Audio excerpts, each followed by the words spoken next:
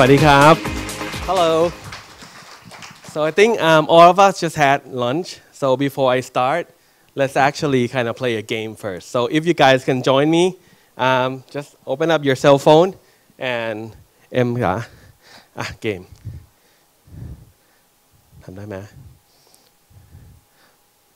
one second okay if you can go to this um, site called kahoot.it okay And please enter this number in the game pin 132394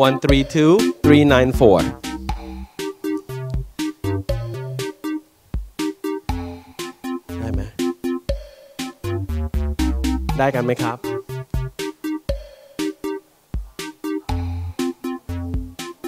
.it ใช่ไหมใช่ครับ .it นะครับ kahoot .it อ่า มีคุณจิมแล้วครับหนึ่งคน โอเค so let's wait two minutes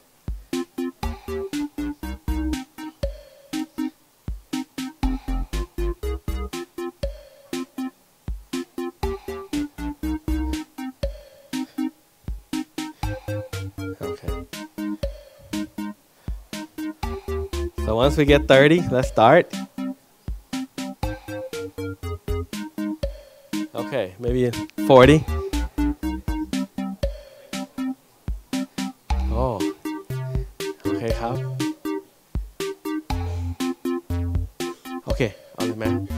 Okay, so let's start.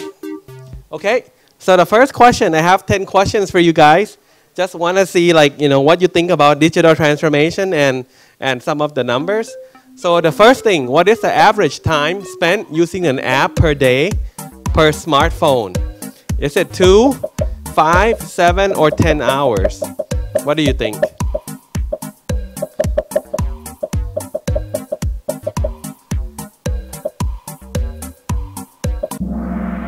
Okay, so it's about two hours a day. Okay. Number two. Okay. Which country spend the most time on the internet per day? What do you think? Thailand, South Korea, USA, or China? Maybe South Korea.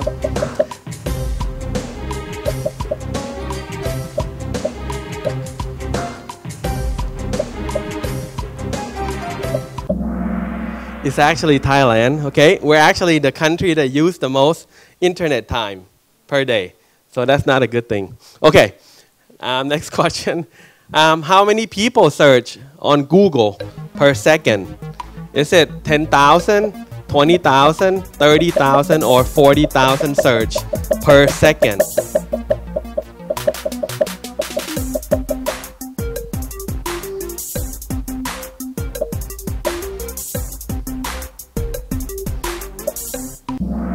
Okay, it's actually 40,000 search per second. That's a big number.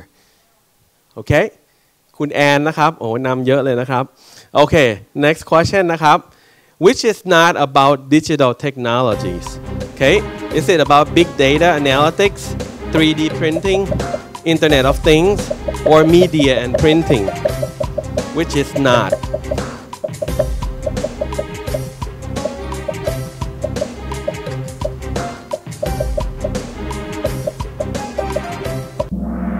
correct นะครับ media and printing นะครับ we actually had that forever that's been there for 100 years okay next one นะครับ คุณแอนนี่นะครับ โอ้โหทำคะแนนดีมาก okay which is the target of digital transformation is it about going paperless is it for faster processing better customer experience or higher revenues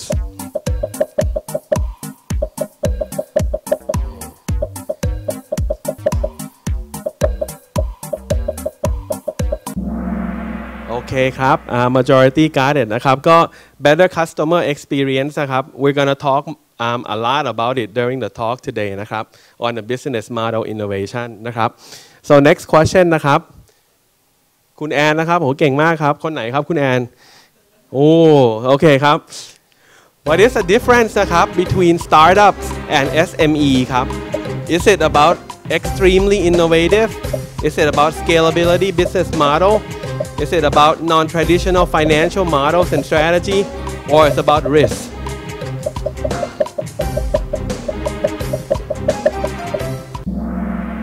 Actually นะครับคำตอบทุกอันถูกหมดนะครับ everything's correct นะครับ แต่ว่า uh, most people would say like the biggest thing will be the scalable business model นะครับ SME เนี่ยอาจจะมีเทคโนโลยีอะไรกันบ้าง แต่ว่า mainly startup สามารถ scale ได้เร็วกว่านะครับ โอเค next one โอ้ยคุณท็อปครับ คุณท็อปนำครับ โอเค next question นะครับ where is the largest manufacturer and exporter นะครับของ military and defense drones ครับ อเมริกา North Korea Israel or India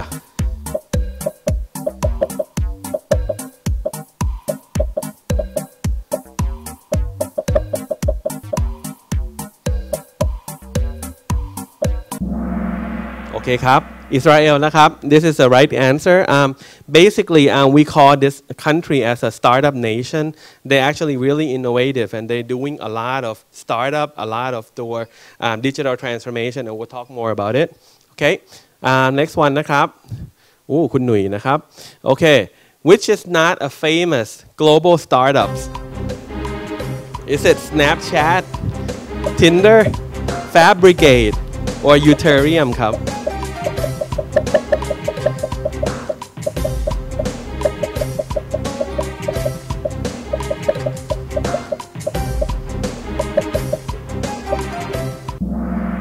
Okay Fabricate ครับ correct นะครับ so Snapchat I think you guys know about it it's like a video thing you click on it and it disappear pretty fast Tinder anyone use Tinder ครับ Okay nobody wants to say okay um, Ethereum is a Bitcoin นะครับ แล้วก็ Fabricate is actually เจ๊งแล้วครับ is actually one of our team member used to work there and it's gone and that's actually a point I want to bring up is that a lot of startup they fail and a lot of time their business kind of reach a point where they know they can't go longer so you know stopping is actually a good thing if you can stop fast โอเคนะครับ and next question นะครับ number nine how many people use Grab นะครับ and keep in mind นะครับ Grab is for for ASEAN mostly นะครับ 23 36 48 or 52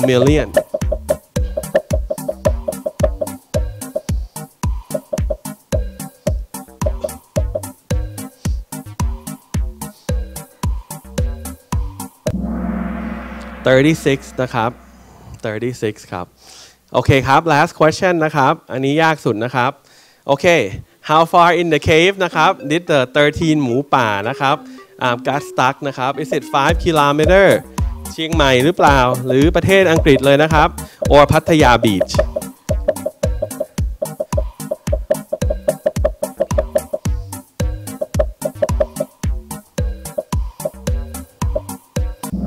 fun นะครับ ก็ 5 kilometer นะครับ แต่ว่า all seriousness นะครับ ก็ wish them well นะครับ everything is happening today and we we we wish the best for them ครับ okay so basically นะครับ just just a little game just want you guys to get back to the you know after lunch mode นะครับ and okay so let's get to, okay.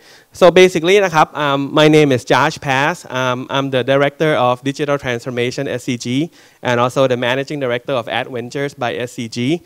Um, today, um, I actually have two panelists uh, with me, Kun Sittisak and Kun Mahisorn. He will join us later. Um, the whole point about today is to link the, the circular economy with the digital transformation. Okay.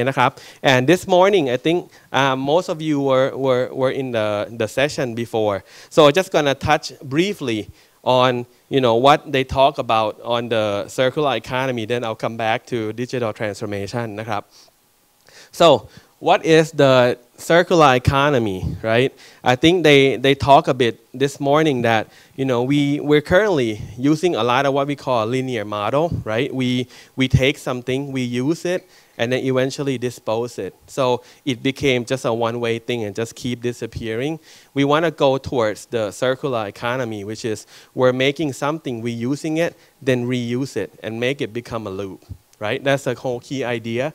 And what we, we want to explore here is actually how we can have a new way of looking into it with the markets, with the customer, and also with the, with the technology so that we can actually kind of, you know, do a lot of things here. So, you know, it will actually kind of do good thing for the world นะครับก็ definition นะครับ uh, number one is going from linear to circular I think we already talked about that um, number two is about kind of reducing the dependency on the natural resources นะครับ and I think what they talked this morning is that basically if you do it well it actually can drive the bottom line growth also and increase your competitiveness at the same time mitigating your risk so that's the definition of it นะครับ and if we talk you know um, briefly on the models there's actually five of these models that we can think about the circular economy.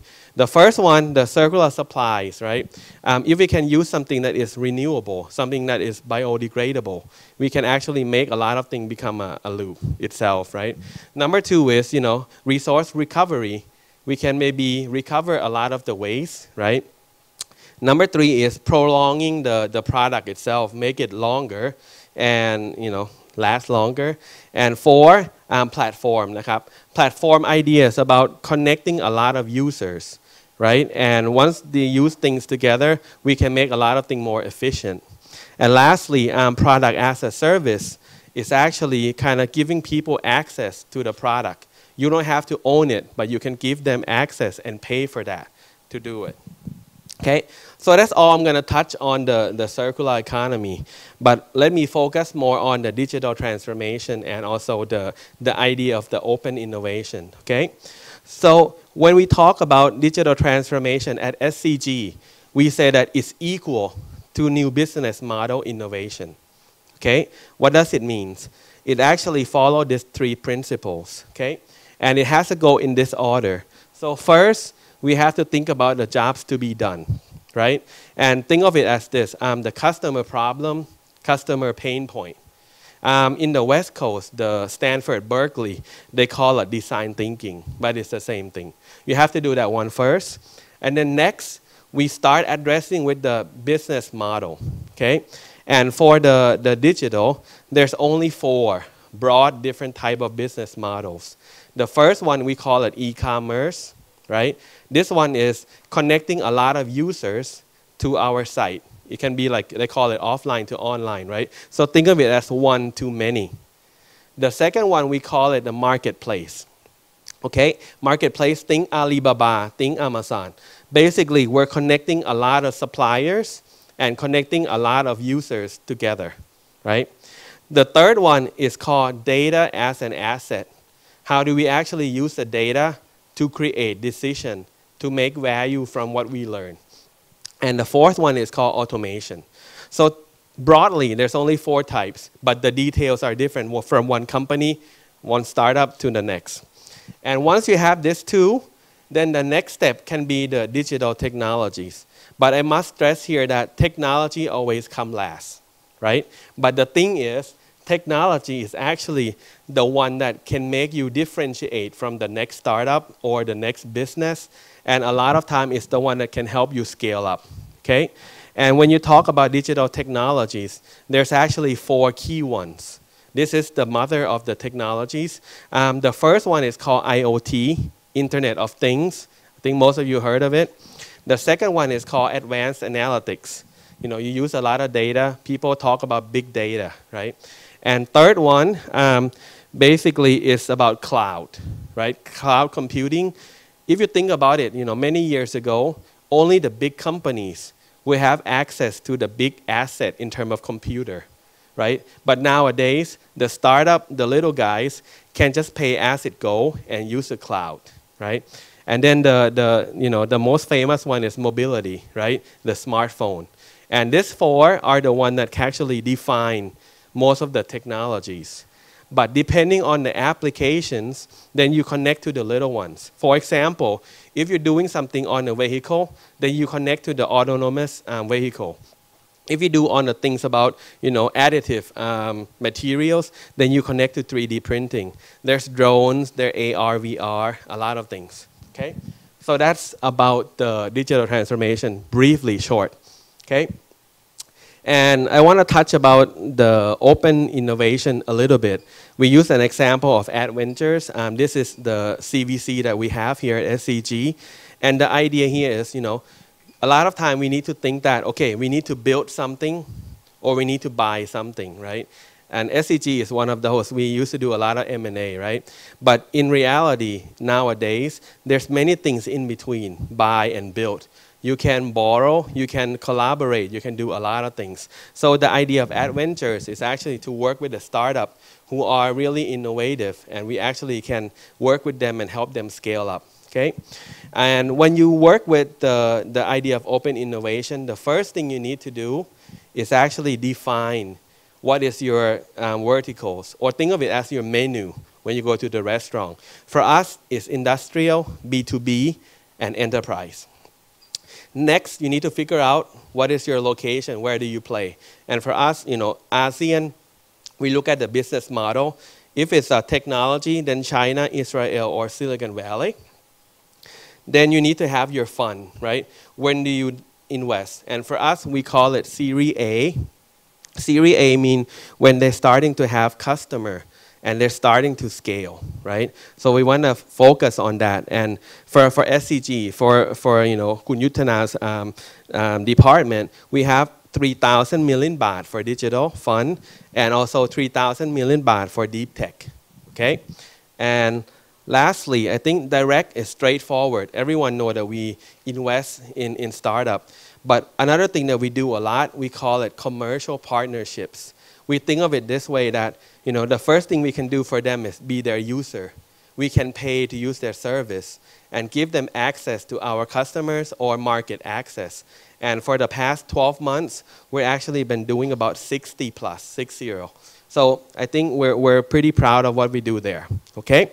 So the open innovation and the digital transformation is what we call digital in this context today. And I want to tie the two together. Okay? So when you talk about this, the, the, the DT and the CE, what do you mean, right? The first thing I usually think is that any, anyone here heard of the, the business model canvas? Have you heard of it? Okay, some do. Um, so basically, when you say business model innovation, if you look at the canvas, which is the tool that we use, you can break things into two sides. The first one we call it customer facing. So it's about revenue model, it's about what channel, it's about customer segmentation, roughly. This is the front side.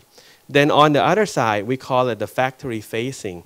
That one is about what activities, what resource, and what is your costing model. Okay, so for me, when I when I put them together, I want to give you some example. Okay, um, if it's customer facing, um, there's a startup I think is pretty neat. It's called JustPark from the UK. Okay, and basically what they do is that we already have parking lots around London and some of the ma- uh, major city. But what they want to do is when they have events, there's not enough parking spots. So they say, can we work with the homeowners in that area and work together on the land, right? And share resource and actually have a business model. So that's pretty neat. That, that's one of the, the startup that they do. Another example I want to talk about is called Hilti. Okay, Hilti is, uh, is from Liechtenstein, and think of um, Black and Decker or Bosch, you know, the tool company, right? Um, they are a true digital company. They, they talk to the customer and they realize that all of the contractors and, and like the project manager, they say that the thing they hate the most is on the tool management. They like to construct the building, but they don't want to spend time charging the battery, things about what we need to use tomorrow. So this company come up with the idea where, you know, every day the crew can just come to work and the tools will be there. And it's already fully charged for that particular job. Being a concrete, um, concrete work today or roofing work today, they have the tools. And once they're done, they will manage everything for you. So that's, that's two of the example.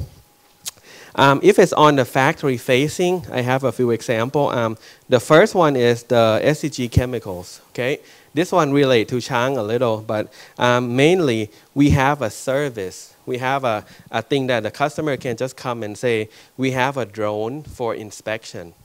We actually have the service for the Sapan Kwan, the cable rod on the bridge.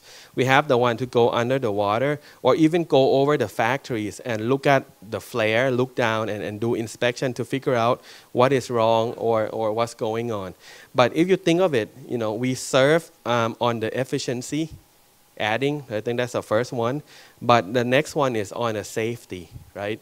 And I think we talk a lot about circular economy, but one of the most important resource is people, right? So I think um, what we do here uh, kind of ties into the CE too.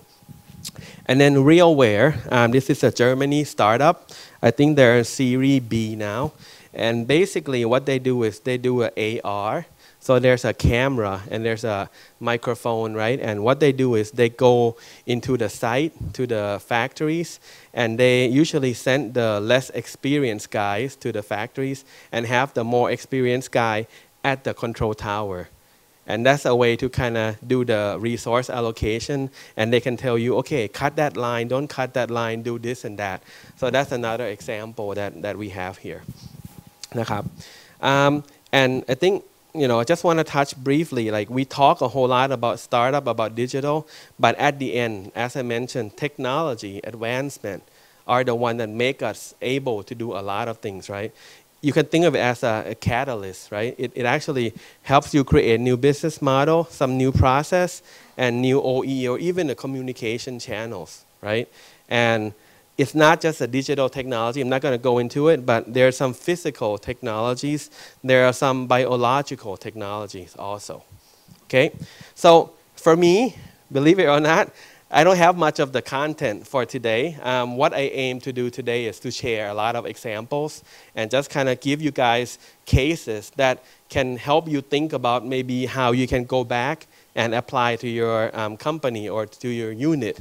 And I think the panelists will come and talk about two of the other ones too.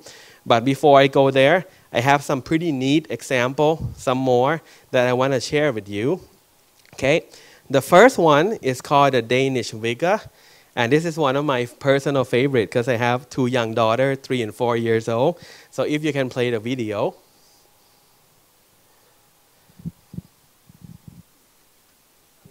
New concept that introduces organic reusable children's clothing on subscription. We want to end the throwaway society and invite you and your child to be part of our new community. We make soft organic children's clothing in sizes that fit your child. When it no longer fits, we'll send you a new Vigga bag. And the clothes that your child has outgrown, you'll just return it to us. In every bag you'll find lots of lovely clothes designed by me and produced with pure organic wool and cotton. When the clothes are returned, we do a quality inspection and after a visit to a professional eco-labeled laundry, they are ready to be sent off to a new child. And if you choose to dress your child in Vigga, don't worry about harmful chemicals, we would never use them. It takes 3000 liters of water to produce a baby jumpsuit. That's the same amount of water one person uses over a whole month. The production also emits around 7 kilos of carbon dioxide, which is the same amount produced by a car on a 55 kilometer drive. But because Vigga circulates clothing between at least 5 families, you are reducing your child's water consumption and carbon footprint by up to 80%. Jeg er enormt overrasket over, hvor let det er. Der har ikke været nogen problemer i forhold til bestillingerne, og tøjet kom før, end jeg selv havde afleveret det, vi var i gang med at bruge. Jeg kan godt lide den der fællesskabsfølelse. Det er at modtage tøj, som andre babyer har været i. Jeg synes, det er hyggeligt, der følger en historie med hvert lille stykke tøj. With the Vega subscription, you have given your child a head start towards a sustainable future. Join us and sign up for our newsletter at vigga.us. So that's just one of the example. Um, they're not they're not a well-known startup, and in fact, I think most of my example they're not well known. I just want to give you some of the the example, and it has nothing to do with AddVentures at all. Okay, um, the number two um, example here is called SIBO. Okay, SIBO is from the U.S. Um, actually, I think it's a Series B or Series C, and basically they do predictive maintenance. Okay, so what they do is they use the sensors and IoT to connect to their um, machines, and basically they can tell you when to do predictive maintenance and also like do a lot of the optimization. So you help with the efficiency, and most importantly, you prolong the life of your machine, which is one of the key concepts for CE. Okay. Um, another example, um, I have a video here too. It's called TIPA. If you can play that. It's from Israel, from Tel Aviv.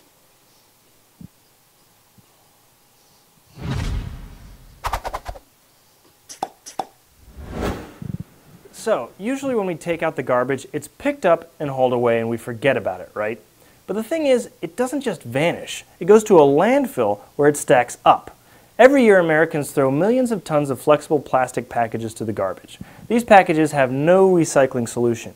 So that lends the question, what can we do to lower our garbage impact on the world? Well, TIPA created compostable plastic packaging that retains all the qualities of regular flexible plastic packages, but with an end of life that's good for the environment. Well, the world is changing. The level of consumption is growing dramatically, and at the same time, awareness is rising. We all understand that we cannot continue using packages as we have done before, and something has to change. Well, TIPA's vision is actually to change all packages into compostable packaging so packaging can be treated as a resource. Tipalock is the first home compostable, freezer safe, transparent zipper bag to hit the market. After testing in TIPA's lab, it was found that after only a few months, there was no trace that the package was ever there. Okay, so basically that's just uh, one example that really, really kind of focus on the, um, you know, circular supply for sure. Um, the next one is called LanzaTech. I think out of the list I have here, this one is the most advanced one. And basically, it's a really high tech company. What they do is they capture the carbon and they actually convert the carbon to be less of the greenhouse gases. And at the same time, you know, they, they create a lot of work and, and, and make a lot of efficiency move. Okay? And then enVerid is another USA company. Um, it's actually uh, HVAC. The, it's a heating, um, aeration, um, AC type company. And basically what they do is they do a better air quality and also optimize a lot of the energy used in the building. Okay? And the last one, my personal favorite, is called Acura. And it's actually a startup in our company. And what we do here is actually focusing on farming. Okay, and one of the key pain point on farming is that we use the watering. We put water in the wrong way, right? Not always that we don't have enough water, but a lot of time we overwater. So the solution here is actually connecting the sensors and the IoT so that we can connect to the farmer and say, this is when you should actually um, water your plants. And then we can actually talk about fertilizing and a lot of the pH and everything. So I think one of the key points I want to just show is that, you know, some of these guys are really attacking the, the problem of sustainable um, business in a way kind of like, okay, this is a startup that do good for the world, but many of them is not that. They just have a few components that actually touch the concept of CE and they have a small impact. But the idea is if you have a lot of them and you sum them up together, that's a big, big impact. Okay? So well, I would like to invite um, two of my panelists and let's talk about the, you know, more of a concrete example on how they, they are both startup and how they actually think about the circular economy. Um, the first guy here is Nong Nong นะครับสิทธิศักดิ์ He's a CEO um, CEO and co-founder of GIZTIX Okay and the next guy is Chang Chang is a CEO and co-founder of HG Robotics So again, it's just gonna be discussion, really nothing serious, and you know, First, I think uh, before we start with anything, uh, maybe start with Nong. นะครับ Nong, if you can introduce logistics a little bit, นะครับ what you do, and I think you have a slide here, right? Yes. Um, uh, สวัสดีครับ um, my name is Nong. I'm the CEO and co-founder of GIZTIX. So um, should we start the yeah. slide now? Can we start the slide, ครับ Yes. มันอยู่ตรงไหนอะ Okay. Okay. Um, so basically, um, GIZTIX, I can give, give you an overview of GIZTIX, so what we do here. So let me tell you how the name came from. It came from logistic. So we just cut the law out. And that's, that's how I name, I name up my startup. So let me start with the video so I can give you a really brief overview of what we do here.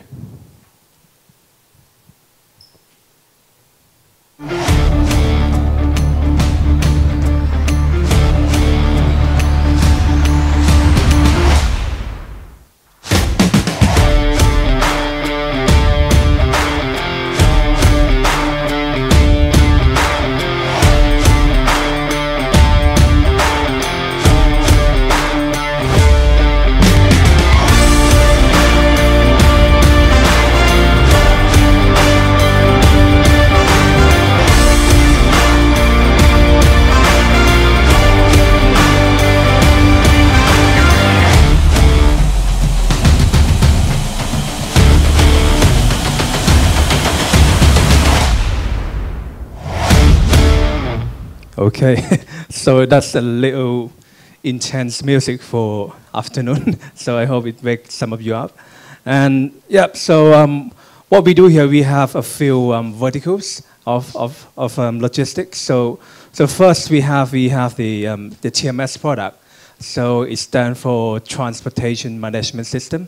So in this model, we provide free software for businesses to, to manage their own fleets and also to manage their subcontractor fleets in order to reduce works in, in your logistic operations as well as increasing visibility. So basically, um, your operation can track your deliveries as well as your customer can track your delivery as well. And it's a really simple app. It's not a software, it's an application, which means um, well, if you talk about software, you, you need to implement it for like five months, six months, and it costs you millions. But for us, we, we provide freemium so we can onboard your, your team in, in just a few hours, and then you can get back and then digitize your logistics. And number two, we have um, integration. So we, we also integrate with your existing system, for, and we mostly do with SAP. And number three, we have is that we, we have the marketplace where we have where we prepare all of the logistics service providers on, on the market and enable business customers to, to firstly compare prices as quick as possible and then book, book, book the service on demand.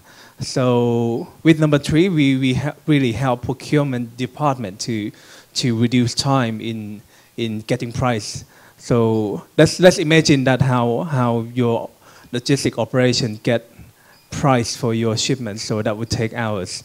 But for this one, it's just like check price for your hotel or flights, just, just like that.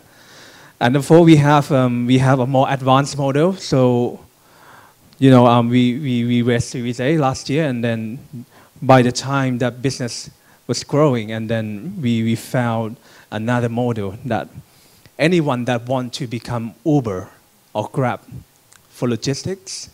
So they just join us, and then they can just go to, go and compete in the market, just like Lalamove, delivery.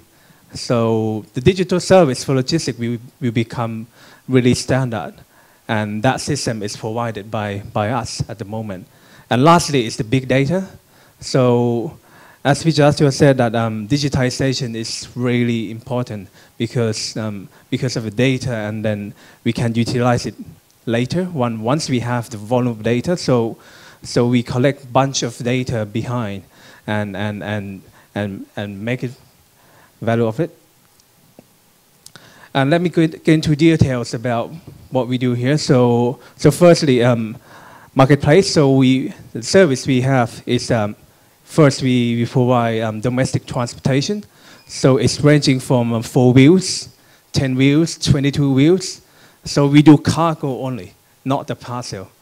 And, and the second thing we provide is um, like freight, custom clearance. So these services are, are listed on, on the platform. Sorry. and this is a real um, page. If you go there, and then you will see um, you will see at least two choices if you want to, for example, if you check for four-wheel prices or six-wheel price, within Bangkok. So value proposition here, we, we help businesses to, to book service on demand. So if you run out of trucks, so you can book it to fulfill your, your supply chain daily. And, and more, we also have bidding system. So because um, if we talk about logistics, there are a lot of high volume or and customized requirements on, on your shipment. So with this page, so we, we, we digitize the procurement process. So you just put your job on there and then we would match the right logistics service providers. For example, you want a six wheels running from Bangkok to Chiang Mai, so we would match logistics service providers that has this service, not the whole database, because we talk about quality matching. And, and this model we also implement within um, SCG Logistics as well at the moment. And the second one, it is transportation management system. So, so it just look like this. So just manage your fleets, a really simple one. And what we have here, the, the highlight of the product is that we, we digitize the um, job orders for, for your drivers. So you don't need to, to write paper or get hard copies anymore. But if, if you're required by the regulations, so you will still need it. But, but this, with this system, so we, we try to help reduce on papers during deliveries 100%. And then we provide real-time tracking. So we get location either from mobile phone or GPS box. And lastly, it's super easy because nowadays we never teach driver how to use.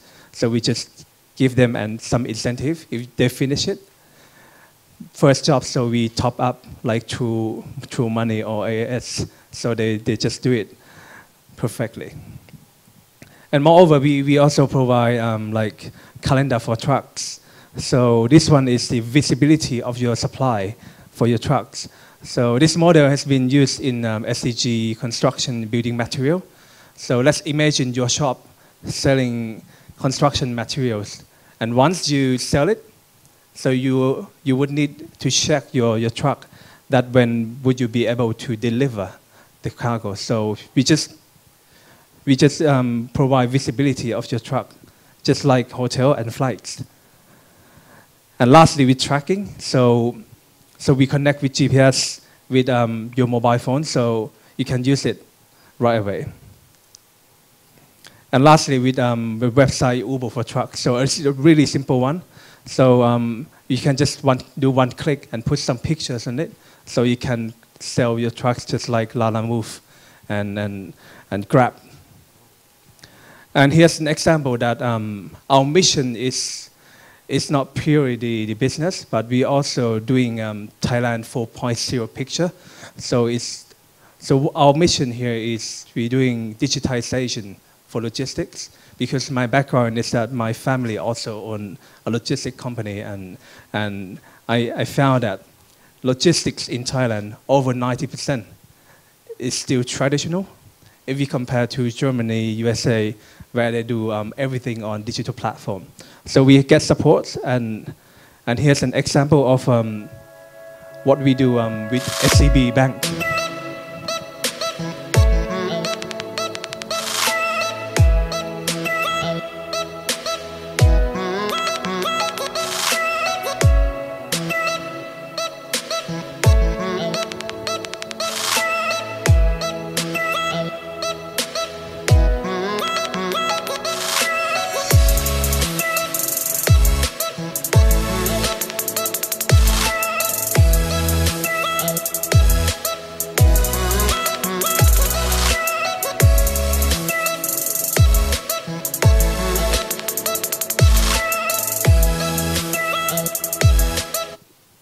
So here is an, a sample that we collaborate with banks and, and some um, government agencies to, to help digitizing logistics. Yeah.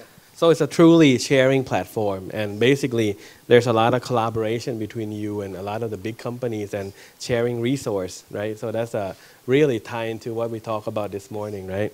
So Chang, Kap Chang, uh, maybe you can talk about HG a little bit. Um, I know you have a slide too, right? So let's introduce your, your startup. Okay, good afternoon. So my name is Chang. Nap Chang, like beer Chang.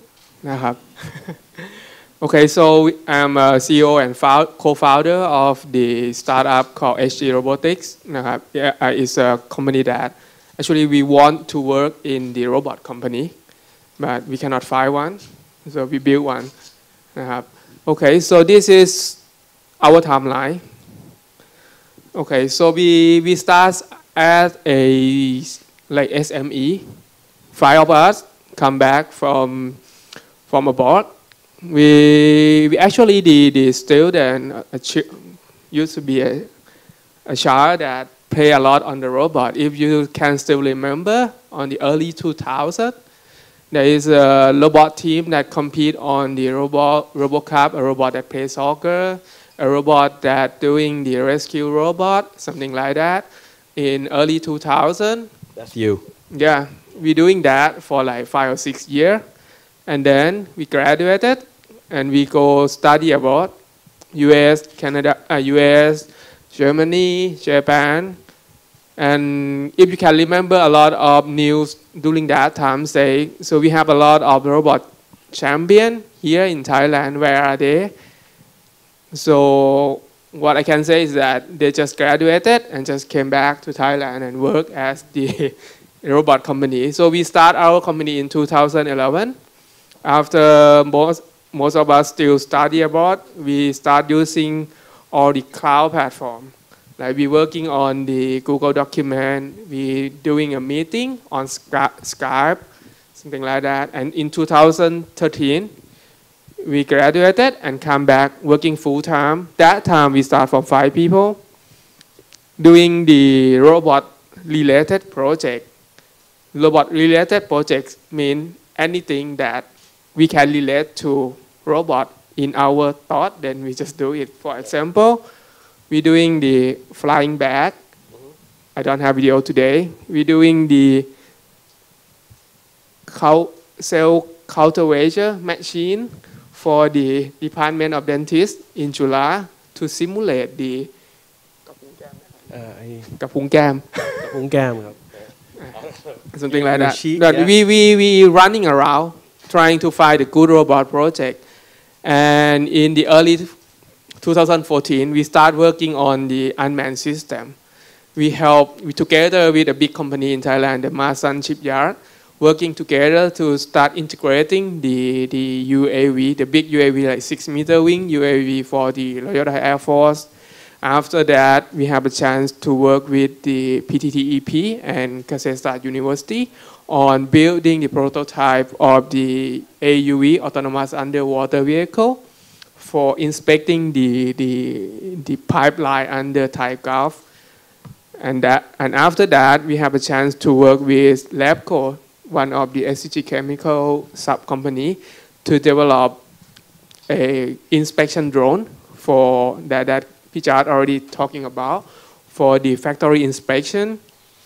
And after we work with a lot of robot for a while, we come to the idea like like like like GIZTIX have that we have we need something to manage the robot to make it I mean commercializable to make it usable for the business because when we have a robot and just one robot it's okay to have one operator but you start using 10 100 or 10,000 robot then you will need the back office the back system to monitor to assign the job to do everything with that so in 2016 we got investment from the Invest Venture, which is a fund management company that that put the money from the government saving bank GSB and set into our, our company in 2016. After that, after that we go grow very fast. Now we have about 35 people. About from 35 people, 30 of them is engineers working on various projects in our company. And right now, we are working on the system as a platform to manage the robot fleet in various kind of business vertical. At the moment, we are focusing on the, the agricultural robot, right?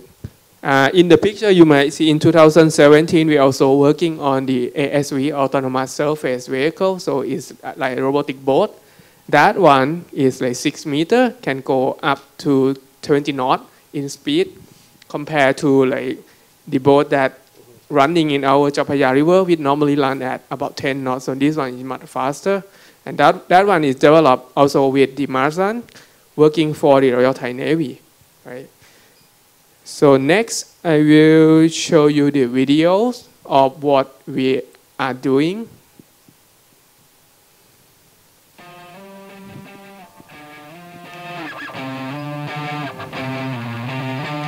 This one is the inspection drone. We start develop in 2012. That many years before we have DJI that have all the same, I mean, functions. This one is using by PTT EP. So we have like 30x zoom camera, thermal camera,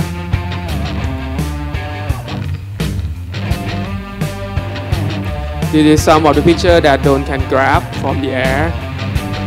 Like really hot, I mean flash stack, you have to fly really far away and take a picture from them. And this one we also provide the fully autonomous flight with modified the firmware and software. This is the Thailand project. We're developing a vertical takeoff and landing drone. This one is for large scale surveying of the crop for example, if you have a sugarcane field and you want to see inside the field what is the disease, what is the defect, or even predict the CCS, like commercial cane sugar, we're talking about how many square kilometers, not just how many right. So normal drone can fly up to 20 minutes, but with this kind of platform, you can go up to one hour or more. So you can cover more faster. And without using the takeoff normal takeoff and landing you can doing the vertical takeoff and landing. So basically you can use it from everywhere. So you don't need a large area to take off or large area to landing and we can change the payload. I mean the camera inside depend on the mission yeah since we are a robotic company so we also have another project that I mean related to the drone things See, this is uh, the, the, the drone from the Royal Air Force. It go up to like 3 kilometers. This is a boat that I'm just talk about. And this is also the security robot that we JV with one of the real estate developer to develop. So by doing this, we will need some kind of platform to monitoring and tracking and assign the mission to each robot in real time. So this is one of the example of the software that we developed for, for our drone. This is just a front end for the operator in the field to, to control the drone. But in the back, back end, we also have the web website and also ERP system for manage the asset. That also can connect it, can be connect to your uh, your back office. If you already have some ERP system inside or something like that, we can pull the data out or push the data in to control it. Yeah. So it is basically what we are doing right now. So it's basically um, a product as a service, right? You can see that a lot of things without them, it would take many times weeks to do the survey, but with these technologies, they can probably do within a day, right? Or sometimes even half a day. And I think one of the point that we were talking before is that safety is really key concern. And and when when you were having your application that you know there's a there's a boat right in the Mekong River right? If people shoot at each other it's just a boat. It's not a big deal. The most is just the most is just kind of you know think that's it. But there's no people involved so pretty cool pretty cool okay so I think we're done with the the video นะครับ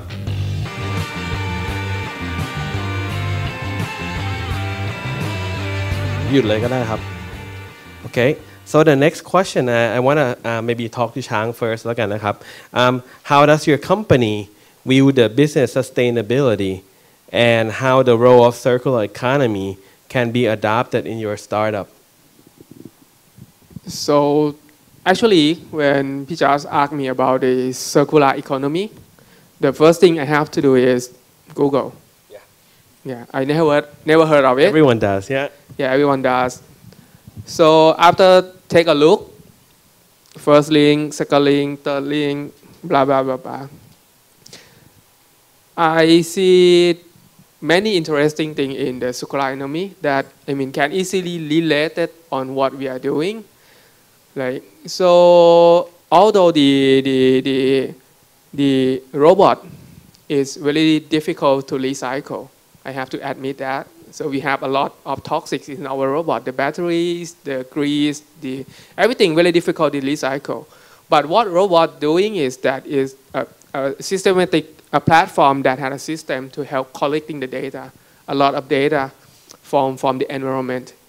And in my view, I think robot system, automated system, is a good system that good, very good for, I mean, recycle and using the data.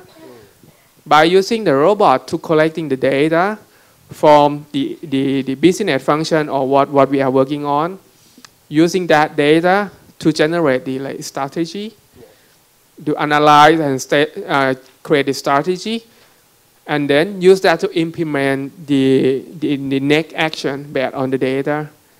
And, and when we're doing the action, it's like we're using the data, right? After that, then we get a result. And then we're collecting the data again. It's like recycling the data. And with this loop, what we have here is like increasing the efficiency of the overall, overall process. And if that, including the safety of the people and everything, then that is a good thing about, I mean, doing a circular economy using the robot as one of the, the tool of the platform to help on that one. ครับโหน่งครับ same question นะครับก็ your view on the business sustainability นะครับแล้วก็ ครับ how CE can be adapt to your startup นะครับ Okay. uh, So um, actually, um, let's look at um, the market size in, in in Thailand in terms of logistics. So there are about um, 7.5 million trucks in in Thailand. Only trucks for delivery for logistics. So let's imagine that we, we increase this number every year, and on the consumer side, they increase every year. That's why we get a lot of traffic right? And and there there an increase in SME as well, and the logistic cost in in Southeast Asia has has been super high, comparing to um, other other continent of the world, like in in um, in Europe, where where the logistic cost is roughly about seven percent, and in the US, in the US as well, and Singapore is seven percent, but in Thailand it's fifteen. So I we we see this number and and for circular economy, so I always based on um, these three models.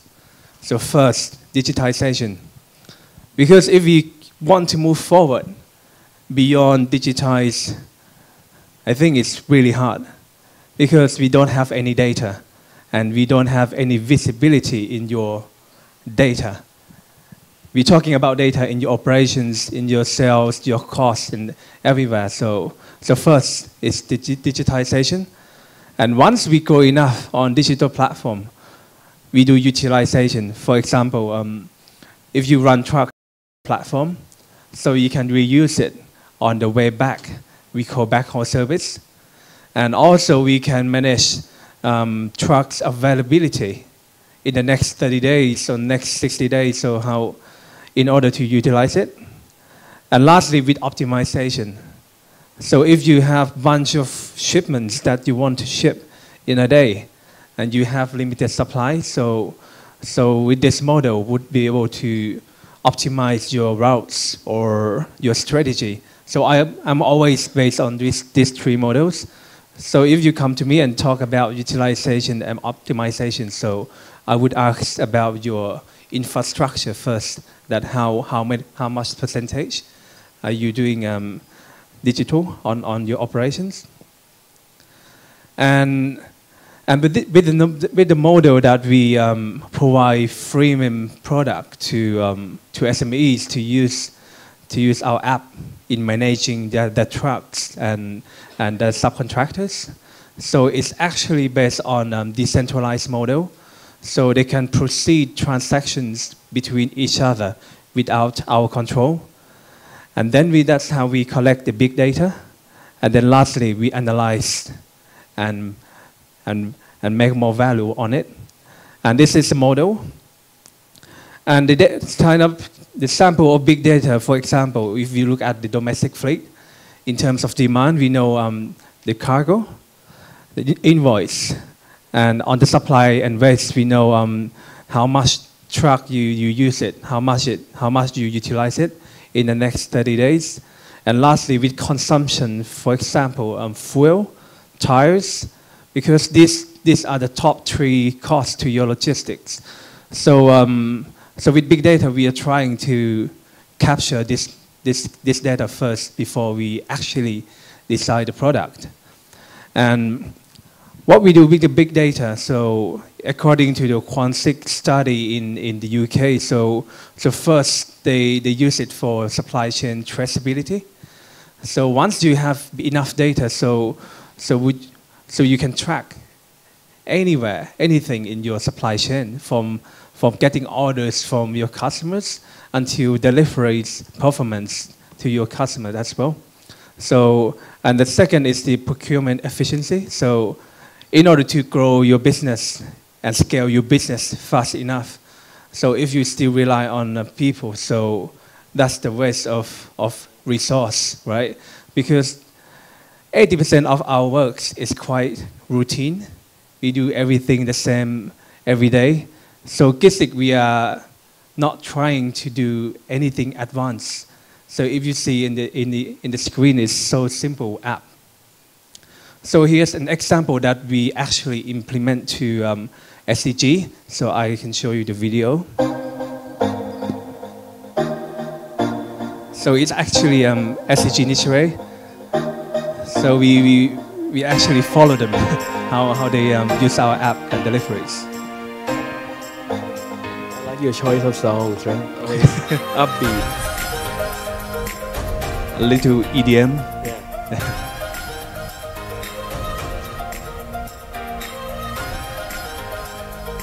So um, just take picture of every picking up and deliver- delivery points.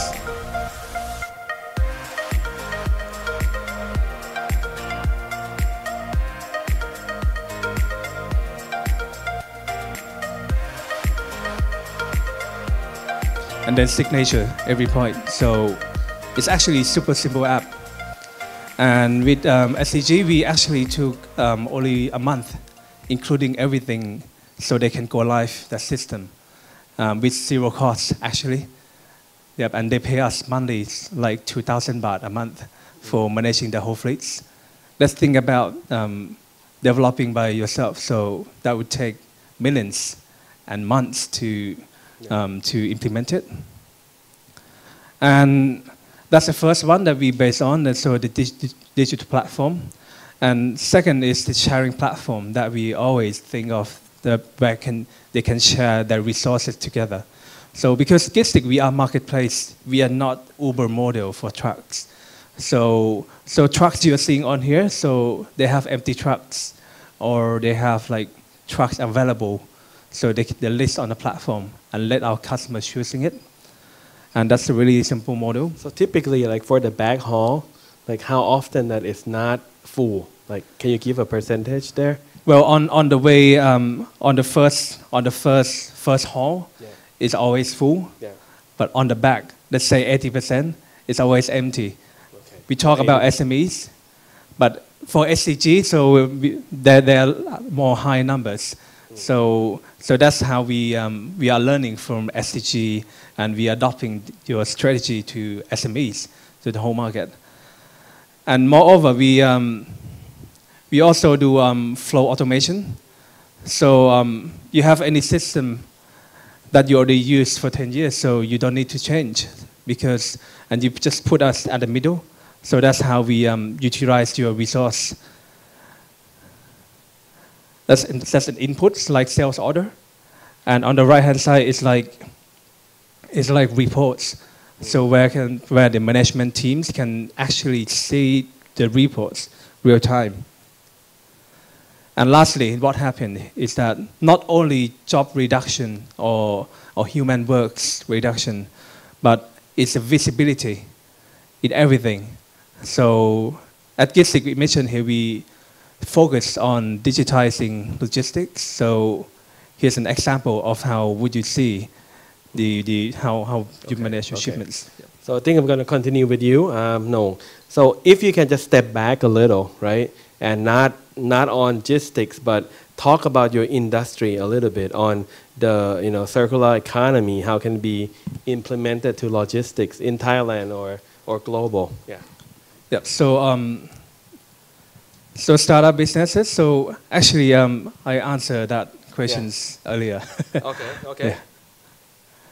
For the industry, yeah. yeah. yeah. Okay. Cup. So let's go Chang a little bit. I think um, we we were talking at lunch a little bit, and one of the thing is they they use drones to actually help the the company um, put down pesticide, right? And that's one of the debate that we were talking that is it a good thing for a circular economy or is it a bad thing? And and I want to hear your view on you know like why you choose to do that and what you actually kind of help the world by doing that. Yeah. Okay, so yeah, so I would like to start with the precision agriculture. I think in this room, whoever have a chance to to see the the the, the program on the TV that a lab in Mahidol University go out and take a lot of sample from well-known supermarket in terms of vegetable and come back to that lab trying to, to check what is the contamination inside that one, including the organics vegetable. And almost 100% of the sample that they, they pick have pesticides or chemical. Interesting thing is that the one that said using organic don't have any pesticide is one of the most contaminated example in, in their in their package. So that is something that's really, I mean, really, Yeah. yeah. feel really bad on that. So after we work with one of our partner on, which is the actually agricultural chemical company, they sell a lot of pesticides, a lot of, of, of fertilizer. We go out into the field with them. We see the actual activity inside the field of what is happening, why they are doing that. What we found is that most of the farmer, many farmer, especially for the one who working on the vegetable, normally using a lot of pesticides on their vegetable on the day before they harvesting because that is the most critical day that any insect should not even touch my vegetable right? So this is the way people doing right now. Mm-hmm. And there is no regulation on that. But what we are doing is that we're trying to to systemize i mean formalize the process using the robot and drone technology right so when we're talking about precision agriculture, right? So there is a loop inside this one. You can see here, collect the data, doing data analysis, putting a strategy, and then implement something to make it work. I will show just one example of what we, we are working on. Okay, so for the data collection and data analysis, this is one of the drone that we are working on. This is the, a small drone that have uh, like multispectral camera on it. So we have the software to control like the fleet management from GIZTIX, but this one is for drone control. For example, we want to examine the, the field in the football field. We can pre-plan everything first, pre-plan everything, and then reuse the data or reuse the plan. And this is how it works. So normally if you flying drone, this will be like fully autonomous. So this this guy just sliding the tab on the tablet and this go up and fly to take the picture fully autonomous with the data. Okay, what we, we get from our drone, this is like multi-spectrum camera. So we got the, this is more technical. So we got the red, green, blue, and another spectrum from the drone like lead edge and NIR. So what is the meaning of all this spectrum? Is that when, when we're looking, looking at the healthy crop, most of the healthy crop will reflect the NIR back from, from, from its leaf. If there is a stress in the crop or insect or lack of water, it will be changed in the reflection and also the color, something like that. We can use that information to see into detail. For example, for this one, you can see a lot of green in the, the, the image. Okay, this one is really obvious. For this one, might not be so obvious. This one is a, a harvested area. The, the light green color is the falling leaf on the floor, so we can separate it easily by our eye. But by doing the multi-spectrum color calculation or vegetation index calculation, we can see it's a little bit, oh, sorry, a little bit more clear on the, the area that is no crop at all, is harvesting area. The interesting thing is here, you can see that is a blue and a green color on this one.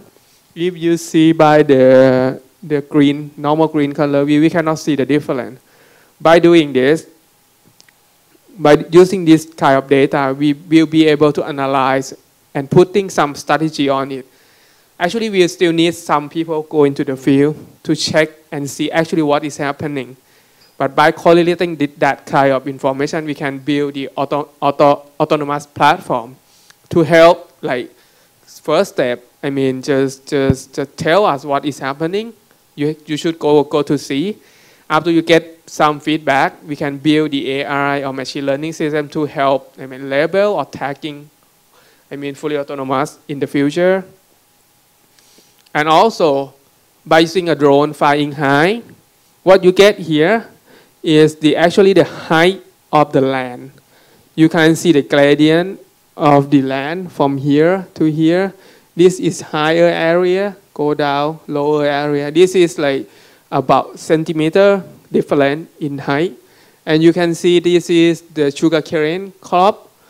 So you can see the volume of the cane. So by doing this, you can predict the, the flow of the water you can plan all the, the water resource. Where you should put, put the water first and it go down naturally so reduce the power. This is also help i mean yeah. reduce the resources. And by doing the high volume yield compact com, i mean uh, you also together with the multi-spectrum camera we can maybe we can possibly we can doing the yield or crop prediction so you get better, I mean, more accurate number about the, the, the actual yield that you will get from the field.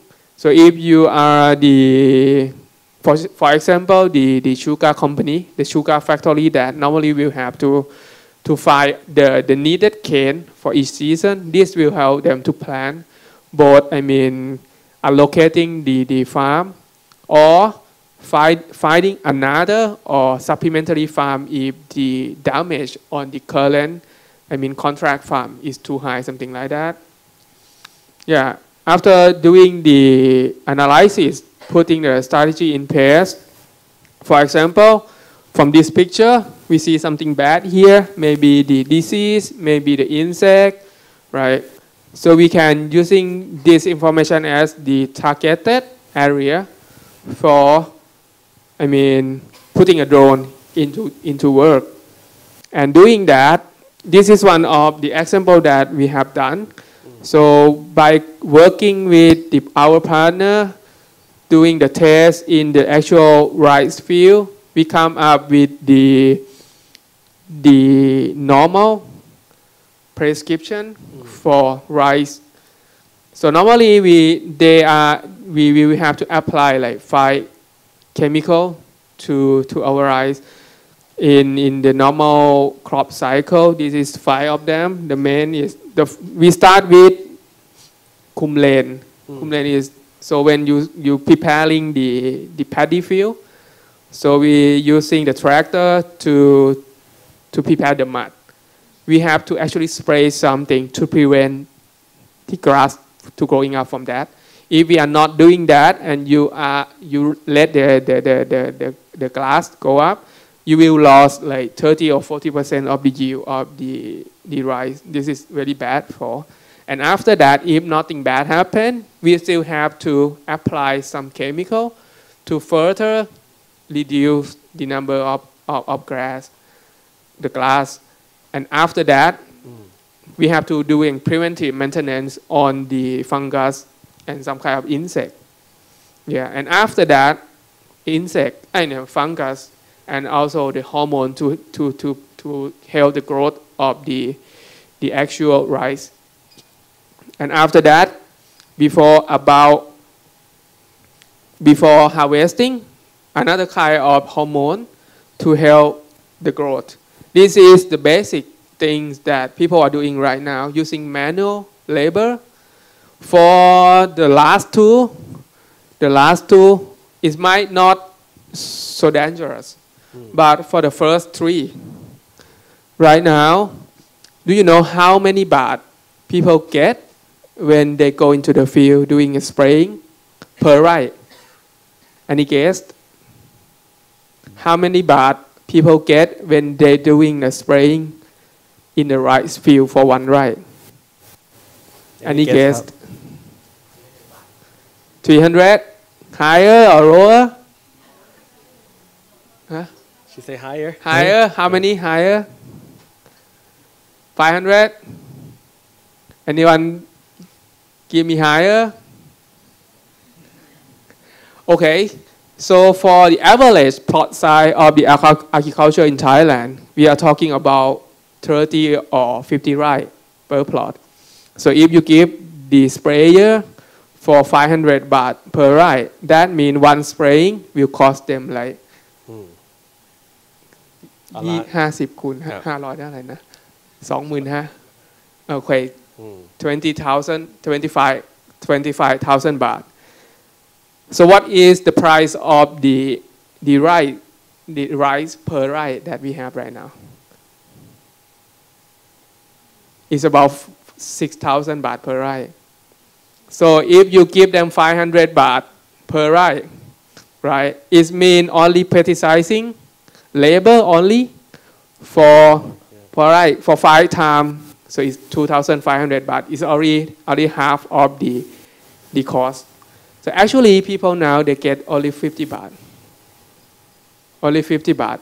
In in the central area 50 to 60 baht carrying about 20 kilos of pesticides very very harmful very toxic on their shoulder doing spraying upwind downwind so normally they can work just a couple year, and then they become another fertilizer. No.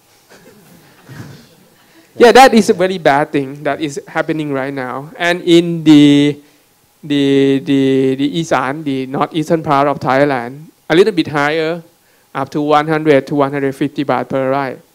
That is still very low compared to the, the, the, the what The medical costs later on. uh, yeah, something like that. So this is one thing that robot and technology can come and help. Although the robot is is a good thing, but it's also expensive. So we have to balance between the cost of the robot and thing that we can help. So the management system is very important. So I think this is the important thing about the, the circular. Because although we have the data collection, data analysis, put the strategy in place doing the implementation and we don't get the data back and see what is actually happened after we using the robot to help. We cannot justify the, the, the benefit of the robot or benefit of the system. By not doing that then people will not trust us so we will, they will not further adopt the technology. So this is the recycling part that after we apply anything, we have to take the data back Yeah. and tell them this is the good thing, this is the, the, the thing that we have to do. So this is one of the example that the robotic system or something that it put into process can help in the circular economy. Okay ครับ so another question นะครับ let's go with โหนงนะครับ so what do you think about the view that the startups and the circular economy are unrelated or incompatible. I think this you know when we were preparing for this talk a lot of people kind of say that startup and circular economy is nothing to do with each other. And they say in a way you guys are trying to survive trying to get money. Do you even think about it? So maybe you can talk more about it. Yeah. Okay, so um, let me cover up the last question as well. I, I confused myself. Um, actually, gonna start, uh, gonna emphasize more about startups and circular economy. So, and later on, I can emphasize more about is it really work? Yeah. Does it really work that startup really contribute to circular economy? So this is an example of sharing economy. Um, this startup called Avantida is, I think it's probably in Sweden or somewhere in Europe. Um, because um, if, let's imagine that when you import something for a full container, so you have your trailer picking up your cargo from, from your seaport and then unloading at your warehouse. And after that, you traditionally um, return the, um, the container to, um, to container yard. But this startup actually um, enable you to just deliver that container to next door. So it's actually acquired already. It already, um, so it, it really um, reduced the resource in returning, returning containers. And it's working in Europe and it's coming to, to Thailand right now. That's, oops. That's the first example. And let's, let's look at Thai, Thai startup. Um, you might have Claimday, seen yeah. Claimday. Uh, he's a really good brother to me. so um, um, with sharing economy, so you can see Grab, Uber, Airbnb, and this is another sample that um, he um, digitized the insurance industry and actually recruit um, workers like just normal people to work as an inspector. So, and, and not only reducing the process for insurance companies, but they also create jobs to, um, you know, to, um, what do I say, คนว่างงาน yeah, workers, yeah, unemployed people, or even students, or like เด็กช่าง something like that to, to um, make some good things to the economy. That's another example. And here's another example as well. You, you, I think you might have seen already, Skootar. So another example for sharing economy. But this is one is for messenger service. So they really create jobs. I think they, they have about 4,000 messengers. Yeah. And more, more than the half, they work part-time. So for example, if you finish job and you want to Yeah, the owner is actually a mentor to Yes. our Yes. internal startup. Yeah. Yes, yeah, he's actually mentor to me as well. So they, um, he really proved that um, sharing economy also works on messenger service as well. Yeah, so that's a few examples to um, sharing economy.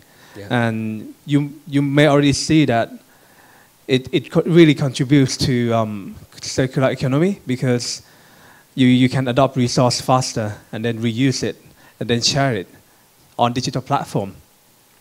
So let's look at, um, but it really depends on the startup stage. If you talk to um, startups that just start for, um, for a few months or less than a year, so on the green one, so they might not be able to, to make large impact, or you might not be, be able to see a lot of contribution to circular, economies.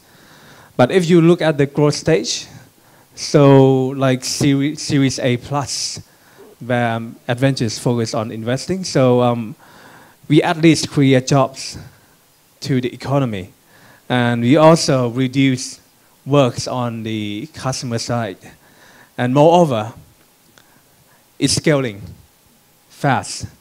So that's how we move towards the circular economy faster on as a digital platform and plus the um, sharing economy model. So that's um, that's my thought. โอเค คุณช้างครับ same question นะครับ ก็ um, it's on the view about the startup versus the circular economy unrelated or incompatible in your view So for me, I think thinking about something that unrelated or or incompatible is really easy. Hmm. But for me, I think as the, the company start growing, so we, we are setting up our company right? So by doing, by, I mean, by learning about circular economy, I think this is very good for a startup company that because they are just a company that just growing up, so it's like a children to teach them.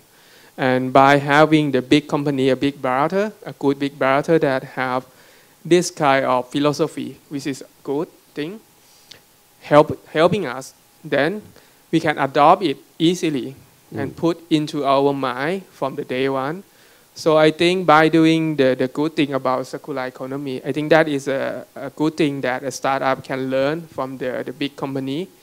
And then, I mean, using that as one of our core idea on developing our company. And I think this is very good, good, good, good start point for, for the company. So if, if I can jump in here, I think most of our startup are B2B.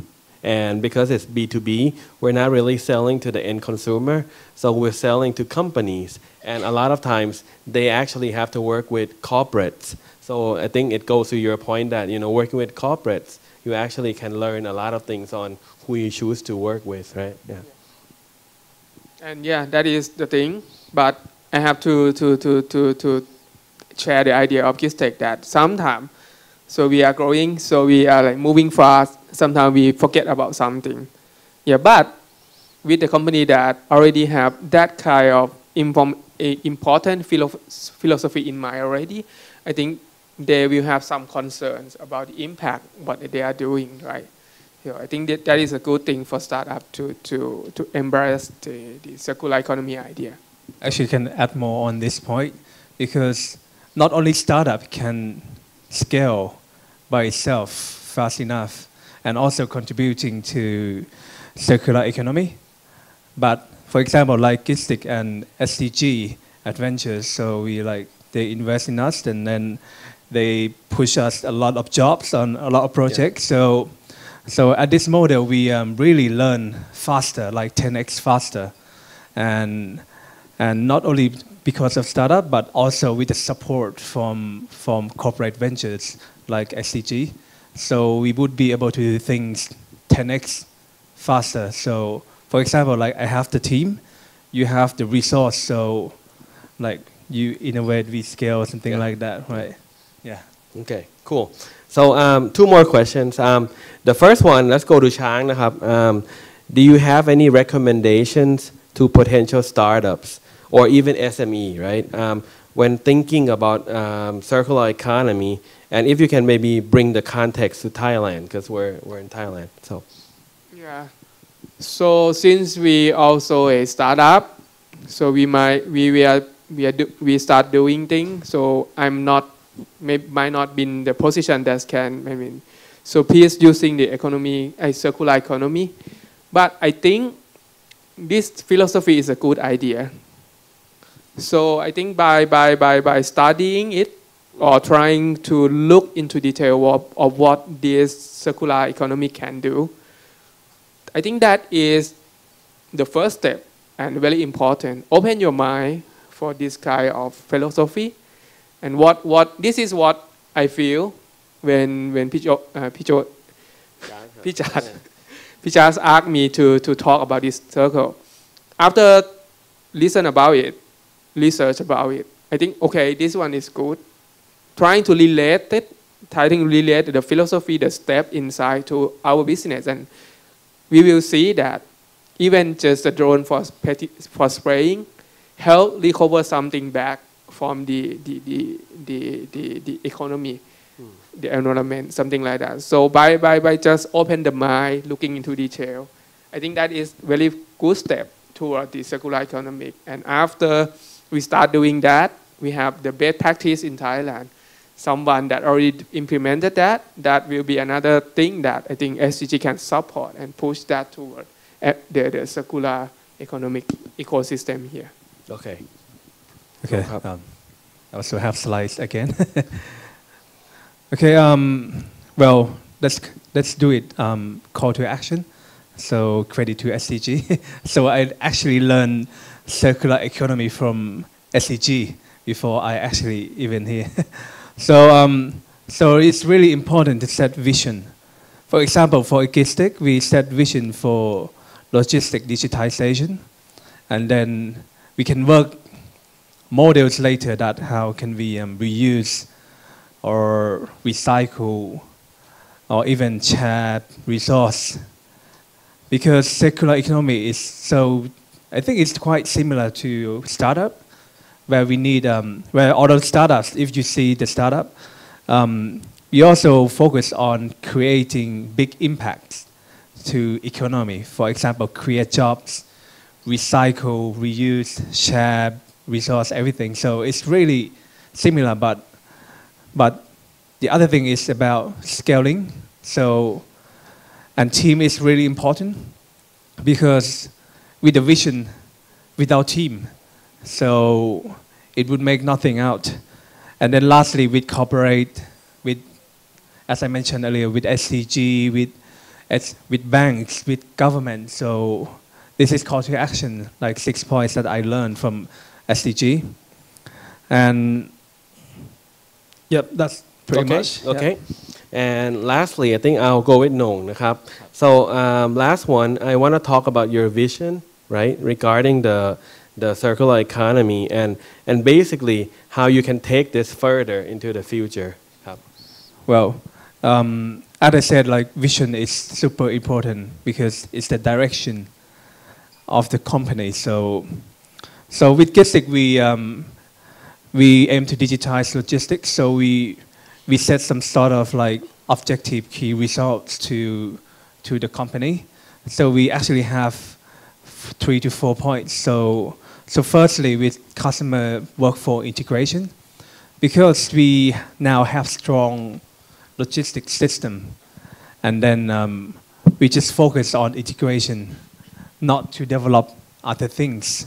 So we focus on what we do here because we do good at the um, logistics. So so that's uh, our area, and then network integrations. That's the second integration. For example, with other startups, with governments, with banks, and with hardware providers. So because GIZTIX is, you can view GIZTIX as a technology company, not logistic company. So we focus on, on building one thing and, and scale it. So that's why we focus on mainly integrations a lot. And number three, blockchain. Because blockchain now has become a new technology, so where, you- where you can, um, for example, you, if you want to transfer money to your friend, so in the future, there would be no bank anymore. So you can do um, like peer-to-peer transaction. So I'm always based on this model, and we are putting blockchain in certain parts. For example, like proof of deliveries, and any documents that are generated electronically. So we put that blockchain on, on there, and, and we call smart contracts on that. And lastly, AI, artificial, artificial intelligence, to help you optimizing and utilizing your resource.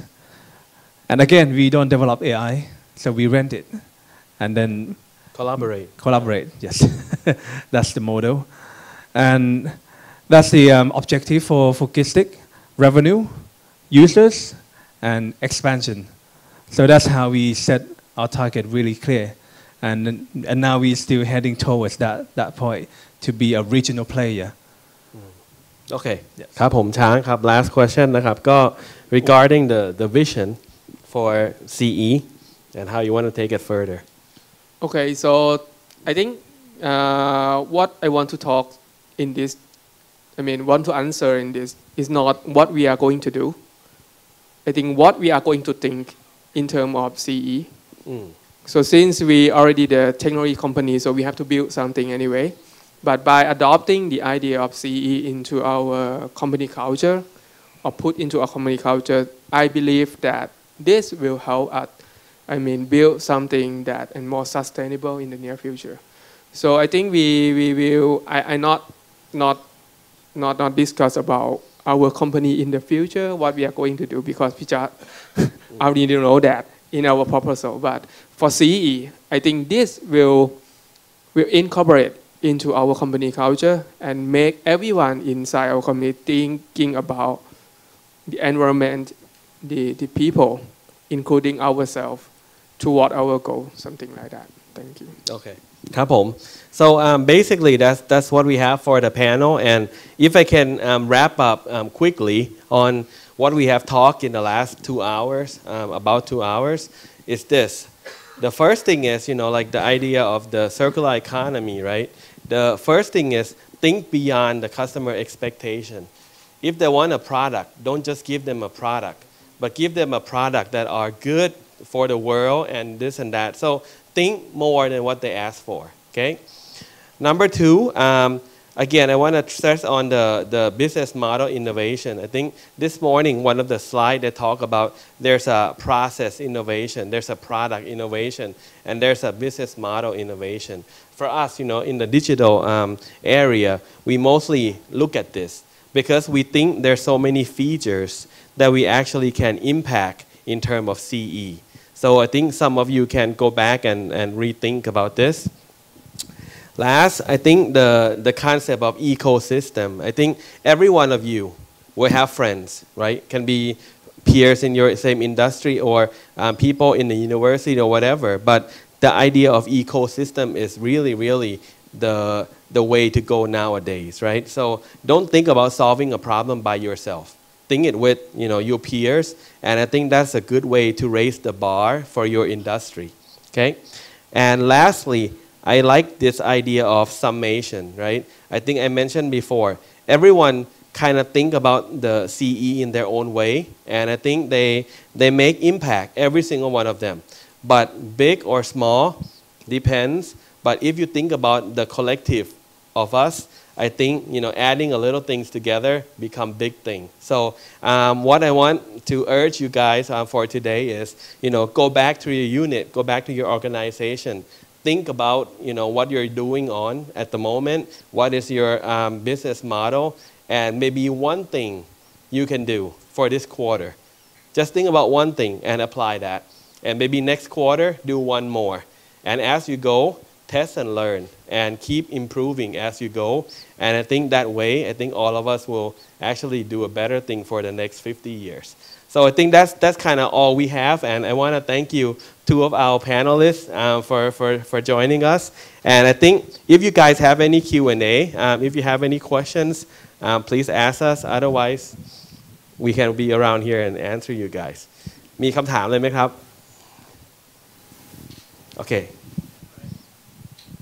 Hi, um, Chairat. Um, I'm come from a car rental company, ASAP, which is a public listed company. Now we are doing some, some sort of um, car sharing, right? Um, people like Zipcars in, in the West that they are doing.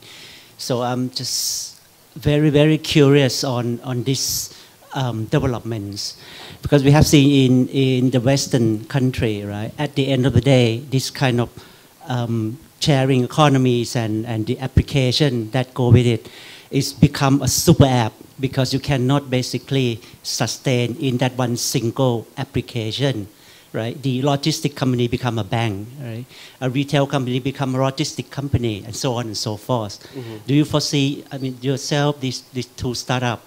I'm, I'm quite amazed right? You call these two startup I mean, they are just almost there, almost very successful there. But how do you foresee in the future of all this application, CE, and all these things become a super app? Is there a way that you can basically successful as a standalone um, uh, application in that sense? Okay. You want to take it first, or I'll let you guys take it first, Okay. and then I'll have my point too. Yeah. Um, so let's answer the, the first question. So Okay, so as the so since พี่อะไรนะครับ ผมชัยรัตน์ครับ Okay, คุณคุณชัยรักคุณชัยรัก say that everything will go toward the super application, super company that I mean everyone doing everything, right? So how how how how us at a startup under SCG will will survive on that point? Is that your question? Uh, that yes and no because I mean for, for example we are doing car sharing right? But now we see Grab and Uber coming. Now we have a problem no a, a challenge whether we should go on this application on ourselves or we should, should go with them and all that things. And I foresee the same thing might happen to you too as well. Okay. Um, Because our, our, our market is quite early, and I always talk to Pre Grating Punpon, he's uh, our VC as well, that the, if the market is early, and if you if you win, it's called like the winner takes all. So that's how how startup works. That's why we raise funds in order to grow 10x. Because if we live, if we um, operate the business without funds, so it's just like SMEs. So, so in my view, right, I think um, kind of I kind of agree with him. Um, you know, each of us usually as a startup we start with one customer pain point, and we have a key feature, right? So if your key feature is the same with someone else, then it becomes kind of like who's going to win. And I think a lot of times the the network effect, you know, like if you talk about Google, right? Many years ago, you may search for anything through Yahoo search or or Bing, and then eventually Google comes, they get everything, or Amazon or Alibaba, right? So I think if your features are similar to them, then you're in trouble. Like as far as you know, like the the the startup go.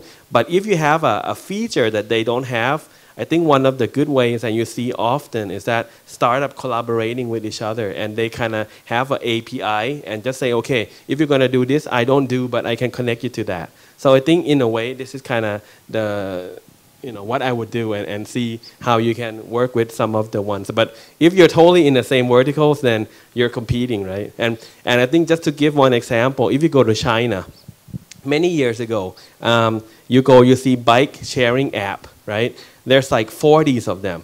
You see like every single colors. Every brand have their own colors. But then like three, four years later, there's only like four or five left.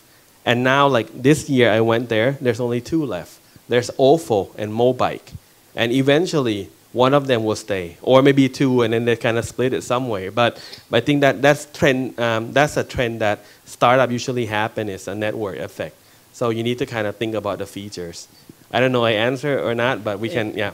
Right, uh, understood. Um, but because we are in there, right, at, at, the moment, and basically we are on the crossroad. Whether should we basically stop on what we are doing and then go with the big guys? I mean, become part of them, collaborate in your term, right? But then again, with um, go with them and all that things, rather than basically keep doing ourselves. We can talk more after that. So I think that we can take that I, one. I have a Yeah. little thing to share about about Alright, the how? idea. So actually, I read a lot of books, and one of the book that I like is Zero to One.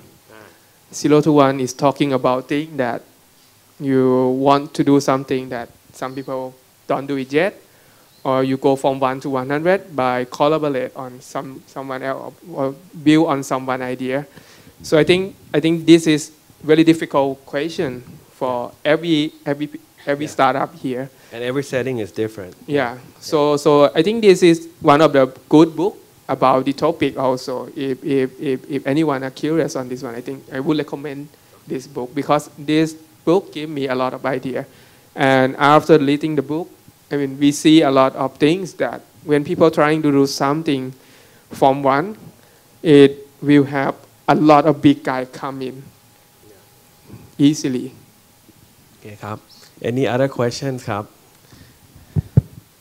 Uh, uh, my name is Nantiwat uh, I am the Public Affairs and Communications Director for Coca-Cola in Thailand uh, first of all, thank you for all the insightful presentations. Startup is always, you know, dear to my heart because it's all about creativity, about finding new solutions to tackle problems. So, you know, thanks a lot for your presentation. I'm not sure that, you know, this is a question, more like an observation or even a business proposal. uh, I think Kun Josh opened the session really well when you actually talk about the fact that changing from the current economy, which is a linear one, to the circular one is actually the key to understanding uh, circular economy itself. Um, in the presentation, though, I'm still not clear about the role of the startups that can perhaps change the reality of our current economy into something like cir- circularity.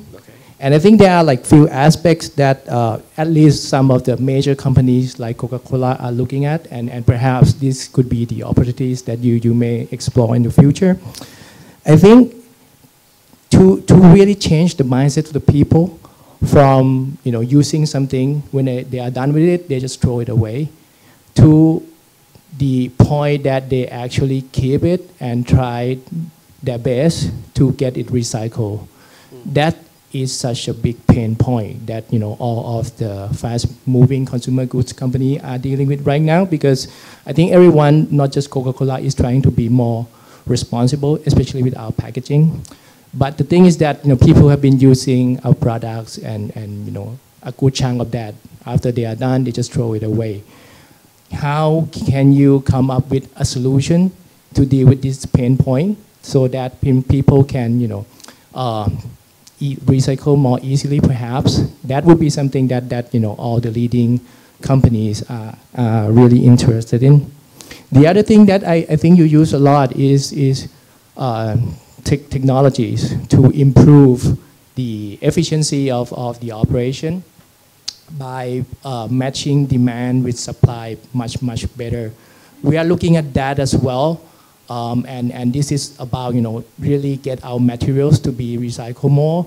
So, you know, if you can come up with a solution like Uber that can match the people who want to recycle with the people who want recyclable materials, that would be something we are really interested as well. So thank you, Kap. And I think, um, thanks for, for all the points, Kap. So what I'm, uh, and, and sorry if, if it's unclear in the presentation นะครับ but basically what we're trying to kind of say as a wrap up นะครับ in the startup session here is that you know there there's many ways of doing the circular economies and in fact I think we we're kind of listing out you know from from this morning that there's a circular supplies right there's a resource recovery there's a product life extension um, sharing platform and product as a service and I think in different startup, they focus on a different thing, right? For example, GIZTIX is actually the one that doing a sharing platform. And you're doing a sharing platform, you actually kind of you know, don't have to build so many things for each of them to use. You actually share the, the information. And when you do it, you actually make it more efficient for everyone, right? So, so in that sense, I think we're kind of addressing the CE, right? Or some of them are product as a service, right? Uh, Hiveground. Um, basically, kind of just, you know, you you have your access to their robots and their robots can help on a lot of things. So I think each of them touch on the different models, but but you're right. I think I think we haven't really um, answered to every single one of the the problem, and I think there there's still a good problems to be solved in a lot of cases, and you know we'll we'll we'll kind of do on a case by case. I don't know any of you guys want to add there. Yeah.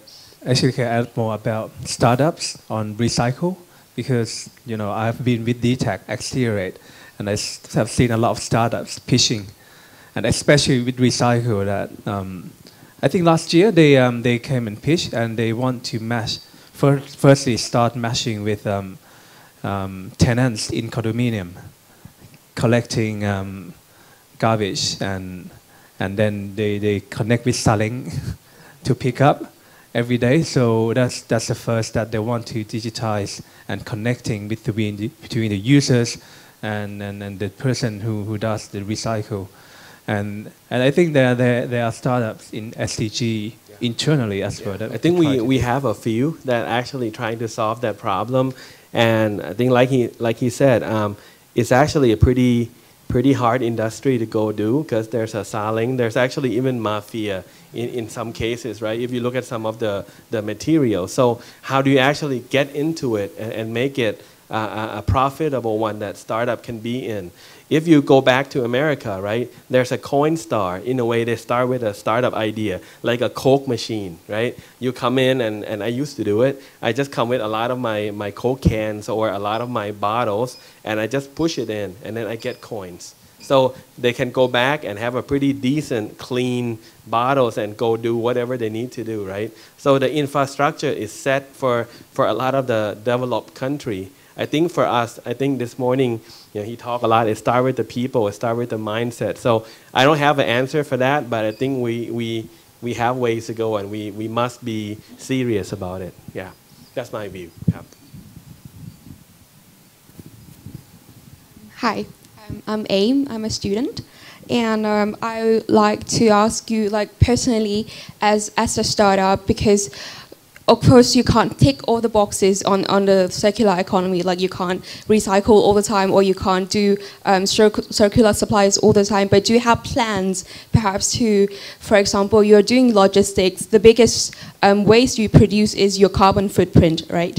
Or you're doing um, robotics. The waste you, you're producing is uh, all the hardwares and stuff. So do you have any plans to deal with that in the near future? Maybe maybe try to tick all the boxes in the future, or maybe encourage others in your business to tick the boxes. Yeah. Okay. So okay. So for the robot at the moment, the the most toxic waste from a robot is the battery. So so as the company here in Thailand, so we rely on the recycle system of the country. And what we're doing right now is we're trying to, I mean, put our battery into the recycle box that accept the battery. We're not throwing it away or we just dump it into the garbage. We, we are not doing that. That is the short-term thing that we're trying to do. And we are lucky enough that our office is inside the Faculty of Engineering at Chula, and they have a box that specialized for throwing battery inside. So we are doing that, right? But in the long term, I think the the the the, the battery is still the big problem here. So without the supporting from the big corporation or government support on the recycling, we are willing to pay for recycling it. But if we don't have any facility in Thailand, so what we can do, our base is to improve our efficiency on the robot and trying to make sure that we use the battery long enough, as long as possible before we throwing it away. But if we still don't have any facility to help recy- recycling, then we have to hope that we go big enough to build that kind of facility by ourselves. But that is way be way I mean beyond our business model right now. So right now we will still have rely on what the environment provide for us. And for for GIZTIX, we actually don't create direct waste to to the economy, but instead we our subcontractors they, they do because we deal directly with truck owners and, and companies. And the the main waste would be um, carbon carbon dioxide and and a lot of spare parts like tires, batteries, and everything. And and to answer your question, that we are not doing anything to reduce that yet because we still focus on digitization for the next few years. And but there are other startups in the US, like you know Elon Musk, right? They do um, like electric trucks already. So we just wait for the government to support electric trucks and electric cars. We reduce a lot of tax, so so our transporters and logistic companies can can adopt that product and then reduce such waste in, in the economy. Yeah. Yeah. But yeah, but for both of us, what we are doing is put the management system in, in place.